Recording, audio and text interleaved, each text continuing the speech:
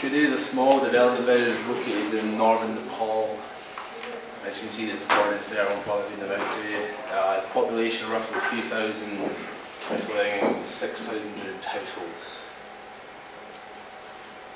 Uh, why the beach is Kudi? Um, as you know, in, back in 2015, Nepal was pretty much destroyed by an earthquake.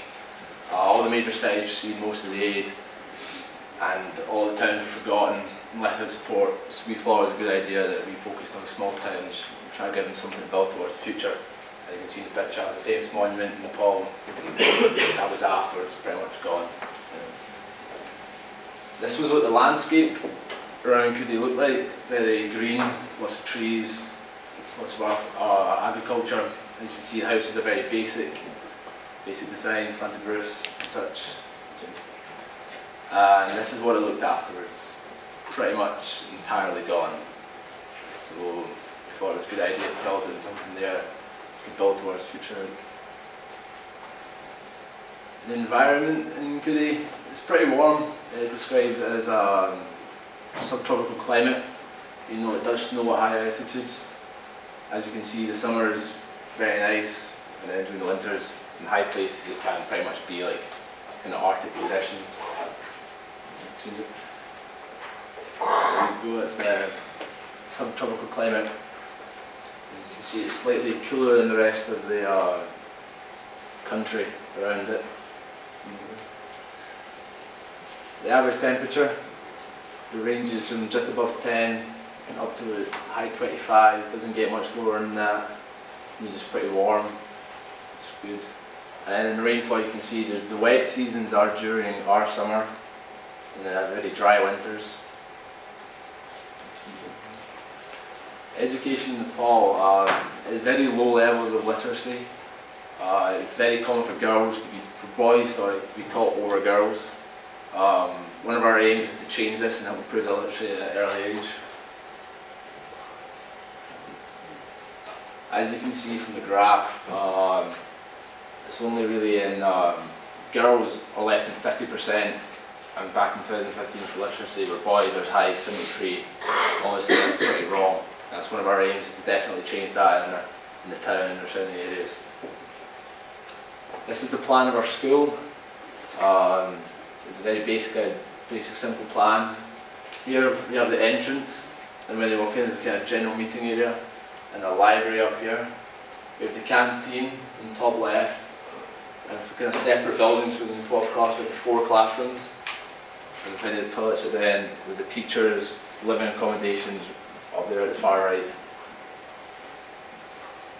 This is what our school looks like. It is one story, very basic design, so we can add stuff onto the side.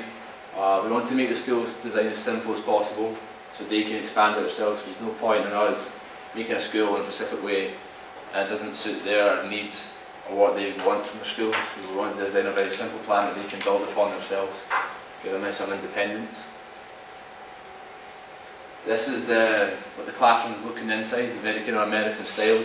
Again, didn't want to get in, didn't want to make it a certain way in case they didn't agree with them. You can see Average classroom roughly fits about 24 people. This agrees with the US guidelines.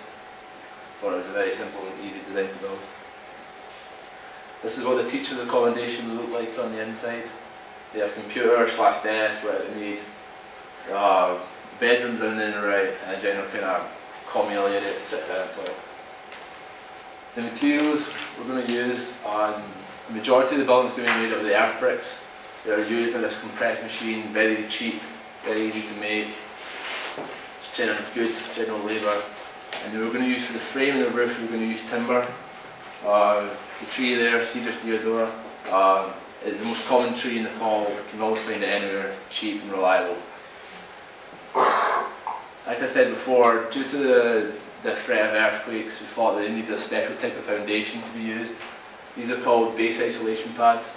They essentially work by absorbing the vibrations in the ground meaning that the building doesn't shake as much as it normally would under an earthquake conditions. As you can see, normal building shakes a lot. Base isolation pads, almost no, no to little shake in the ground. Want to use rain harvesting. As seen from the previous slide, there's not much rain during the uh, winter periods. it'd be a good idea to give the school something they can collect and use their own water. As you can see, the rain will fall off the roof into a gutter system to be collected in a storage tank. Again, Nepal in general experiences 10 hour power cuts daily. So we thought it was a good idea to have a throw for power for the schools and accommodation.